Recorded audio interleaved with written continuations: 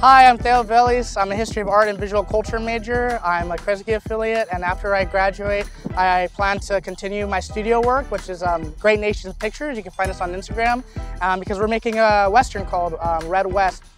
My post-grad plans, I will be starting a Doctorate of Psychology in fall of this year. I plan on going to Amazon Web Services after graduation and working as a cloud support engineer. I will be working with uh, Barrios Unidos as an internship this summer, which I hope will turn into a career later on in the line, and I'm super excited for it. My after college plans include substitute teaching at K-12 level and then also doing part-time English classes for non-English speaking adults. Um, after UC Santa Cruz, I'll be going to University of Oregon to pursue my master's in electrochemistry.